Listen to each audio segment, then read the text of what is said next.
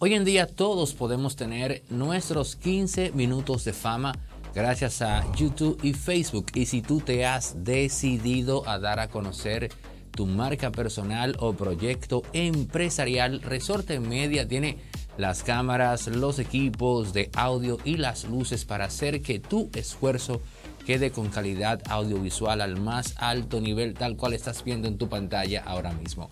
Llámanos o escríbenos al 829-741-3061 y nos ponemos de acuerdo. Porque la policía sabe dónde están los puntos de venta de sustancias ilícitas. La policía sabe cuáles son los tigres que tienen la ruta en tal o cual barrio, pero ellos no lo joden.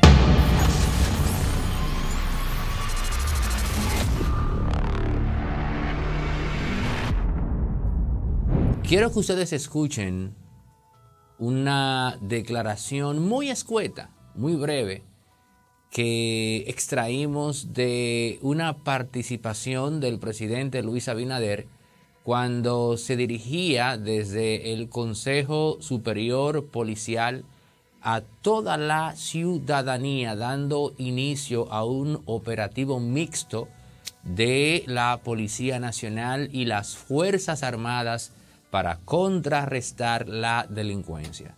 Quiero que escuchen este muy breve audio y traten de percatarse qué fue, digamos, errático desde el inicio hasta el fin en esta breve declaración del presidente, que a su vez es un error muy preocupante.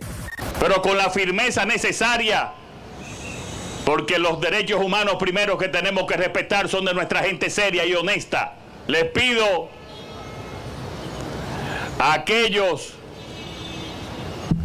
que están actuando en nuestros barrios, en nuestros sectores, llevando intranquilidad,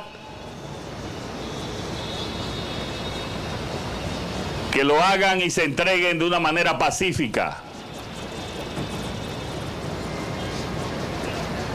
Si no se le va a buscar donde estén. El presidente Luis Abinader afirmó en esa declaración, y aquí arrancamos como, como se dice, eh, caña para el ingenio, y dijo que se van a respetar los derechos humanos de las personas honestas, lo cual significa que los derechos humanos de la gente que es delincuente, de los antisociales, no se han de respetar. A simple vista, usted puede estar, incluso hasta yo, de acuerdo con eso. Incluso podemos hasta aplaudir. Pero nada más lejos de la realidad y preocupa que un mandatario ignore algo tan elemental como que los derechos humanos son inalienables. Los derechos humanos no dependen de que un factor externo exógeno determine quién debe gozar de esos derechos. No, señor presidente Luis Abinader. No se trata de respetar los derechos humanos de la gente honesta. Por demás, aclaro que no estoy hablando de respetar los derechos humanos del que delinque y no hacerlo así con quien es honesto, quien es serio, quien sale a trabajar. No, no se trata de eso. El problema aquí radica en que un presidente tiene que saber o se supone que sabe que los derechos humanos son consustanciales a todo individuo. No, oigan esto, ¿eh? no incluso desde que nace, sino antes. Habrá países que por el tema aquel de la interrupción de la vida determinan que que es persona a partir de los tantos meses, pues bien, perfecto. A partir de esos tantos meses, esa persona ya tiene derechos humanos. ¿Y a qué nos lleva esto que acabo de plantear? Porque usted dirá, ahí está este también, eh, proclive a que cuando la policía se encuentra con un antisocial, en vez de aplicarle mano dura, lo trate con rosas, rosas y flores. No, no se trata de eso, señores. El detalle aquí es que si estamos conscientes y claros de lo que es o lo que son los derechos humanos, eso se traduce en no hacer cosas innecesarias como esta. Cuando usted tiene a un antisocial esposado, en el momento mismo que usted le coloca a las esposas, ya esa persona no representa un peligro ni para usted, que es el policía, ni para la sociedad. Pero hay muchos policías que por la simple superficialidad de sentir que tienen poder, lo que hacen es que la esposa que está así, voy a poner el simio con este reloj, está así, ¿no? Pero no puede hacer nada. El policía viene de manera arbitraria y le aprieta a las esposas, sin necesidad, porque ya esa persona, por el simple hecho de tener las benditas esposas, no puede hacer absolutamente nada. Ah, pero él viene y se la aprieta, para que el individuo que está ahí sienta que él es quien tiene el poder. Eso es una violación a los derechos humanos. Pero si yo sé que los derechos humanos le asisten a él, amén de que haya quebrantado la ley, yo no hago esa necedad. Pero al mismo tiempo, en términos humanos, no me gano un enemigo. Ahí pasamos de lo teórico a lo práctico, porque ese individuo al que le han apretado las esposas sin necesidad, sabe que ese cabo, ese raso o ese sargento está en ese destacamento, pero en caso de que se mueva y lo trasladen para otro, él se puede grabar el nombre. ¿Se da cuenta usted, presidente, a lo que nos exponemos si manejamos este tema como que, bueno, derechos humanos para la gente honesta y para el delincuente no? No, señor presidente. Al delincuente hay que someterlo. Pero hay múltiples formas de someter al antisocial sin que se dé la necesidad de irrespetar sus derechos humanos. Y ahora viene lo más sensible. Presidente, usted no puede manejarse en ese término, no puede manejarse con esa ligereza, amén de que refleja ignorancia del tema, que prefiero pensar que simplemente se le pasó, no puedo dormir tranquilo sabiendo que tengo un presidente que no maneja ese tema y que no tiene esas cosas claras.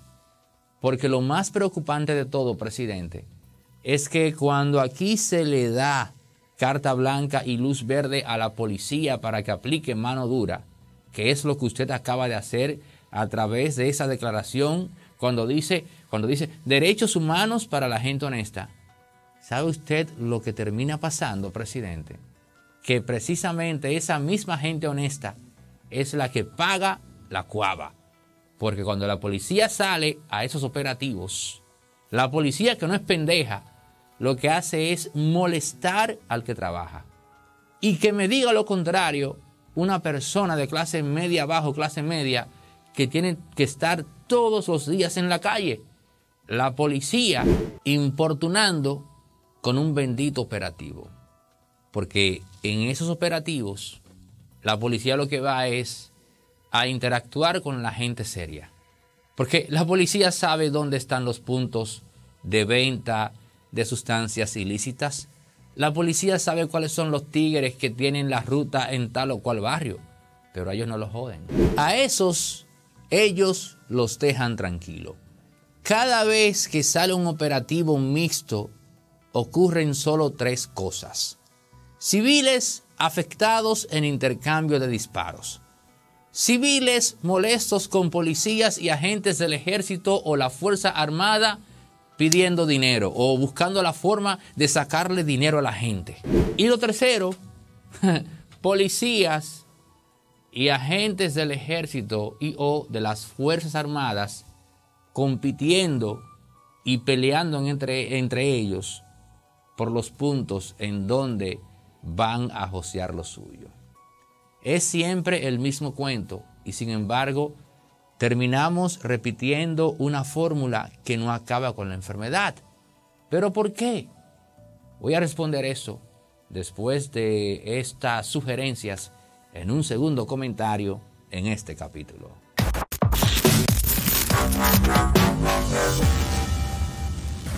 Energía eléctrica para toda la vida con una sola inversión, una gran solución con Ser Solar, los expertos en instalación de paneles y celdas fotovoltaicas, empresa dominicana con experiencia regional en Estados Unidos y Europa.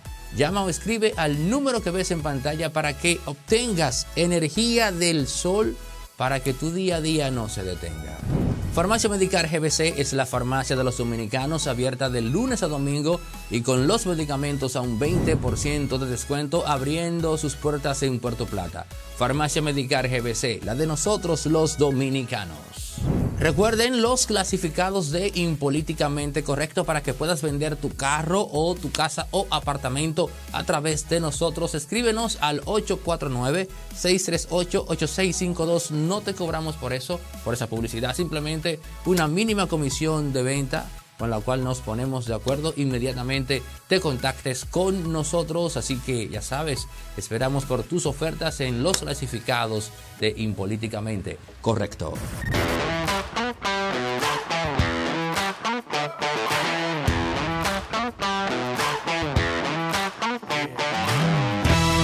Cuando la policía y el gobierno y las Fuerzas Armadas anuncian que van a hacer un operativo para responder a la, delincuencia, usted puede tener la total seguridad de que eso no es más que un mecanismo de relaciones públicas para venderle a la ciudadanía la idea de que el gobierno está preocupado por la delincuencia.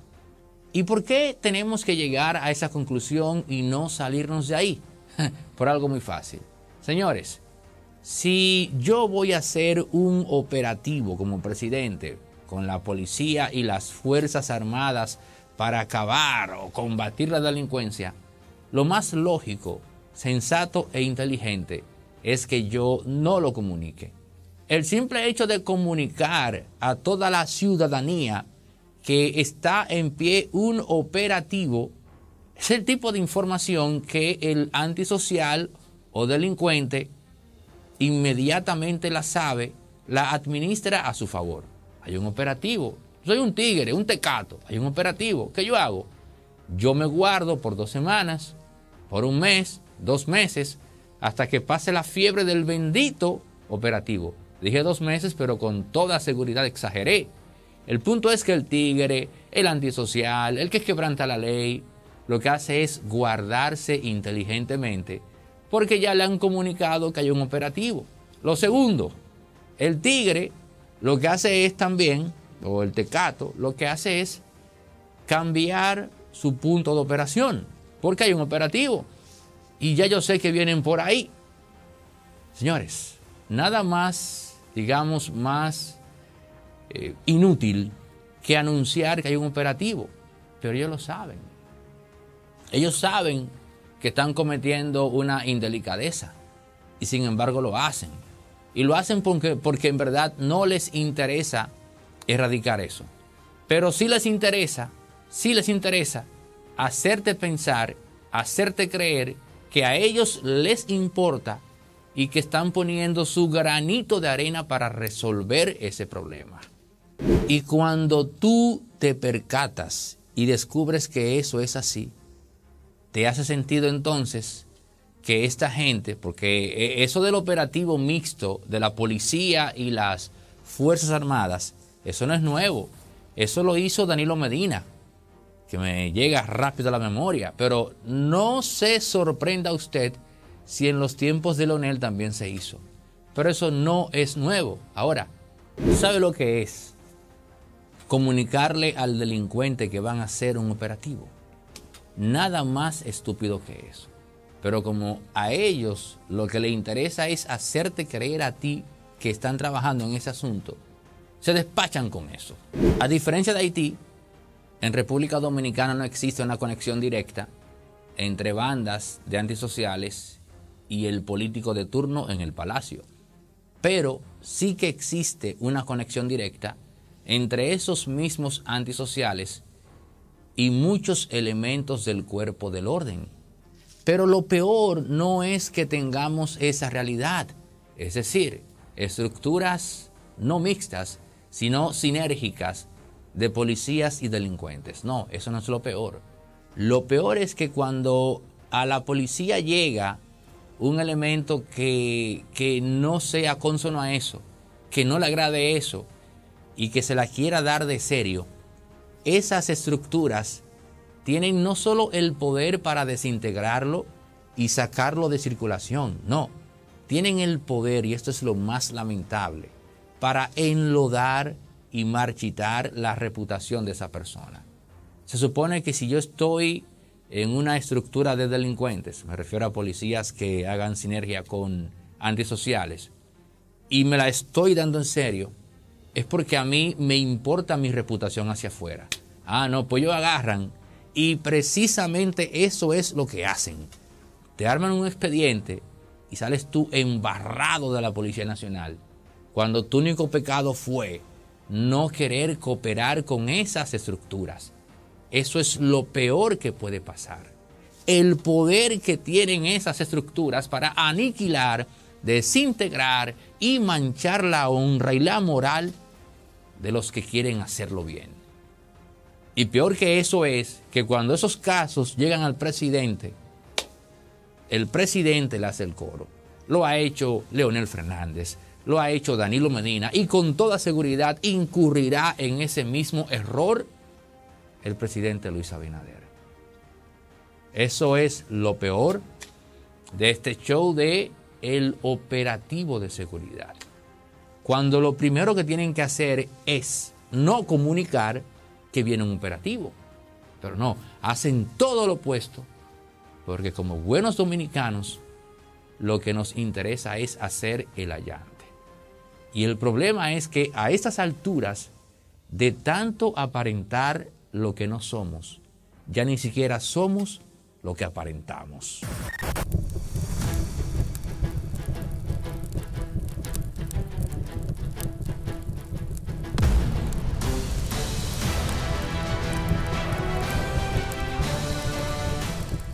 Si has llegado hasta la parte final de este video y no te has suscrito, te voy a pedir que lo hagas, pero si ya estás suscrito, quiero pedirte entonces que colabores con nosotros en nuestro Patreon. Claro, si quieres que esto no solo se mantenga en pie, sino que siga creciendo.